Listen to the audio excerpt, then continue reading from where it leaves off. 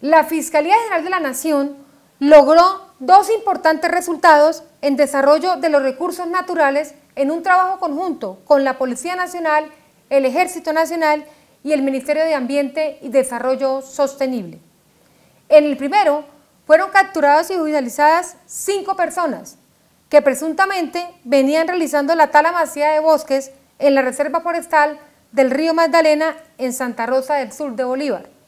Al parecer, para la construcción de socavones utilizados en minería ilegal.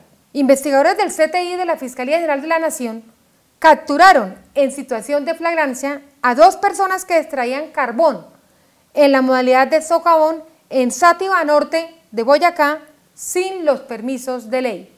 Los detenidos fueron judicializados por los delitos de daño a los recursos naturales y explotación ilícita de yacimiento minero y contaminación.